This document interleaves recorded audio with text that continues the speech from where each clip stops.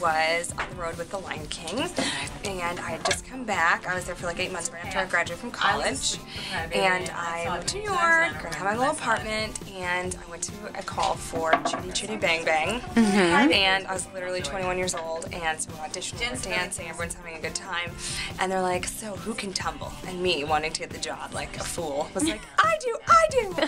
So I Did you have up- to tumble? Yes, I showed off my biggest, baddest gymnastics trick. Which I did is a like, what? I did a round off whip back, back handspring, back handspring full. Oh And my they were goodness. like, great, you're hired, like the next day. So then I got to the show and I had to tumble eight times a week on a rake stage towards an orchestra pit with two other people tumbling. Did you die? towards me. And after that, I decided I don't tumble anymore.